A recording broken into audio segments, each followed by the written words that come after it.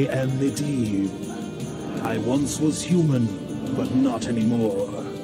You, my little spider, will play a great role to save our world from the Burning Legion. I will bless you with intelligence, agility, and strength. You will build an army of spiders to crush the undead. But first you need to grow, little spider. Go and eat some rats or vultures, but be careful.